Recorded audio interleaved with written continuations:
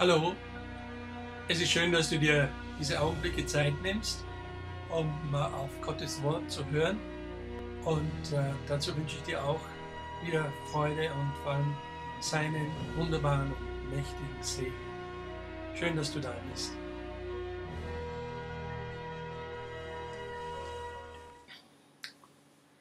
Ja, hallo. Heute haben wir wieder einen Losungs- und Lehrtext. Es ist der 11. November 2020. Und äh, es ist ein besonderer Tag, weil es wieder ein Tag der Gnade Gottes ist. Deswegen ist eigentlich jeder Tag ein besonderer Tag. Es ist Mittwoch und der Text ist heute aus Sprüche, Kapitel 15, Vers 16. Und da heißt es, besser wenig mit der Furcht des Herrn als ein großer Schatz bei dem Unruhe ist. Hm. Ja, von Salomo, der ja wirklich äh, einer der weisesten Menschen war, von dem wird es gesagt in der Bibel. Und auch wenn er mächtige Schätze hatte, hat er doch erkannt etwas, was ganz wichtig ist für den Durchschnittsbürger. Für diejenigen, die sich manches Mal nach mehr sehnen, hätte ich doch noch dies oder das oder wenn ich das habe, dann bin ich glücklich. Aber das stimmt eigentlich nicht, denn das, was uns Menschen wirklich glücklich macht, ausfüllt, Sinn gibt, Orientierung und Wegweisung und letzten Endes das Tor in die Herrlichkeit ist, das ist Jesus Christus. Nicht umsonst hat er gesagt, ich bin gekommen, auf dass sie das Leben und volle Genüge haben.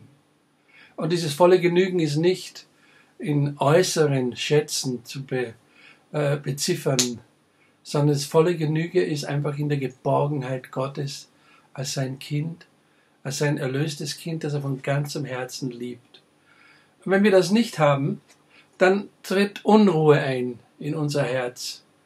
Und ständig ist man auf der Suche nach irgendetwas, nach, ja, nach noch einen Kick und noch mehr und noch mehr. Und immer kommen wir leer zurück, wie es heißt in dem Lied. Sie suchen, was sie nicht finden. Manche kennen das schon. Ne?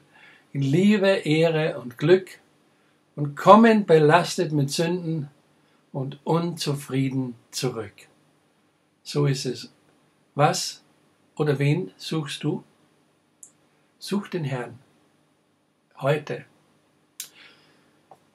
Ja, dann im, im Lehrtext der führt uns hin ins Markus-Evangelium, ins achte Kapitel.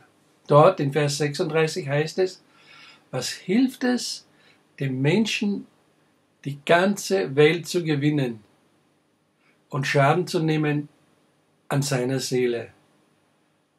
Wow, was für eine Konzentration an Weisheit und Wahrheit.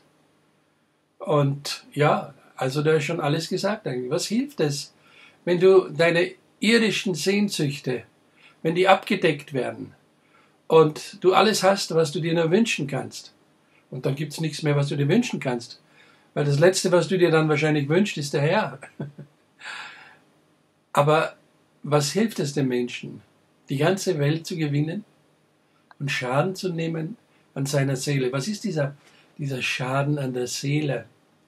Ich glaube, die Seele ist etwas, was Gott dem Menschen gegeben hat, eine besondere äh, Lebensmöglichkeit, die in der Gemeinschaft mit Gott existieren kann. Aber dadurch, dass der Mensch sündig geworden ist, ist diese Beziehung zu Gott kaputt gegangen.